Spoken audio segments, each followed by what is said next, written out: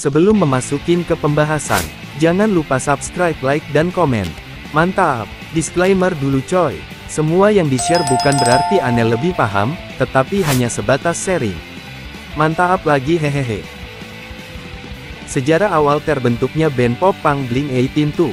Blink-182 adalah band beraliran pop punk yang berasal dari Poway, California. Blink-182 terbentuk tahun 1992 di Poway, California.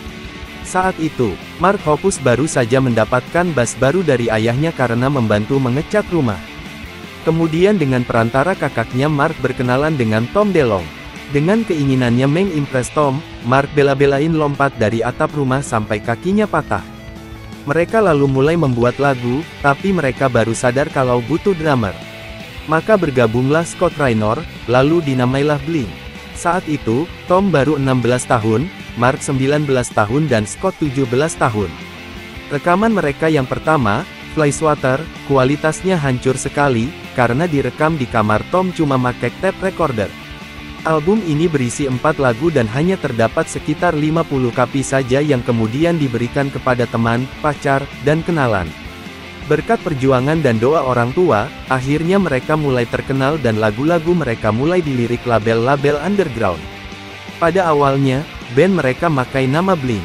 Berhubung juga ada band techno asal Irlandia yang juga makai nama Blink, jadi mereka tambahin angka 1, 8, 2 di belakangnya, kemudian dibaca Blink 182, kabarnya angka 1, 8, 2 adalah 182 kali kata kasar yang diucapkan Tony Montana di Scarface, tapi Mark bilang 1, 8, 2 cuma random number.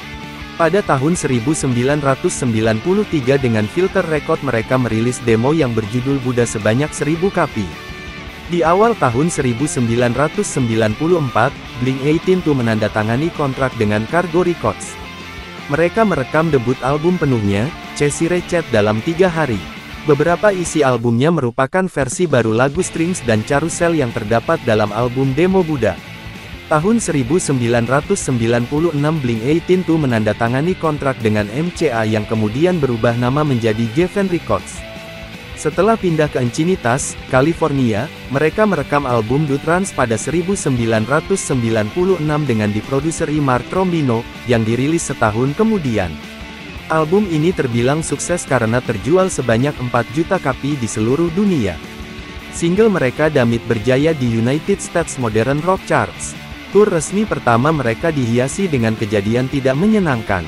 Scott Raynor dikeluarin dari band karena obat-obatan dan alkohol yang udah parah. Ketika mulai kebingungan mencari penggantinya Scott, kebetulan saat itu Blink-182 tutur dengan band pembuka namanya The Aquabats. Lalu drummer dari The Aquabats menawarkan dirinya untuk bergabung di band Blink-182. Drummer tersebut adalah Travis Barker. Kesuksesan Blink-182 Pada 1999, dalam proses pembuatan album Enema of State, Blink-182 mempekerjakan Jerry Finn sebagai produser. Album ini membawa Blink-182 ke dunia mainstream dengan hit single What's My Age Again, All the Small Things dan Adam's Song yang sering diputar di radio dan ditayangkan di MTV. Penjualannya mencapai 10 juta kapi di seluruh dunia dan menjadi best-selling album saat itu. Di tahun 2000 Blink-182 merilis album live berjudul, The Mark, Tom and Travis Show, The Enema Strikes Back, dengan isi materi dari tiga album sebelumnya dan tambahan lagu studio Man Overboard. Blink-182 melanjutkan kesuksesannya dengan merilis album Take Off Your Pants and Jacket di tahun 2001. Setelah menghabiskan waktu di tahun 2002, rekaman untuk album selanjutnya dimulai pada tanggal 18 November tahun 2003 dan menghasilkan hit single Feeling This, I Miss You, Down dan I'm Lost Without You. Travis mengatakan Blink-182 sengaja membiarkan albumnya tanpa judul, untuk mewakili Blink-182 yang baru. Bubarnya Blink-182 di pertengahan Februari tahun 2005, Blink-182 membatalkan performnya di Music for Reliefs Concert for South Asia, yang kemudian pada tanggal 22 Februari tahun 2005 diumumkan bahwa pembatalan tersebut dikarenakan Blink-182 akan vakum untuk sementara waktu. Geffen Records merilis Greatest Hits pada tanggal 1 November tahun 2005 di United States, di dalamnya termasuk unreleased track Another Girl Another Planet dan bonus track Not Now. Banyak yang bilang kalau lagu Not Now itu lagu Blink yang terbaru.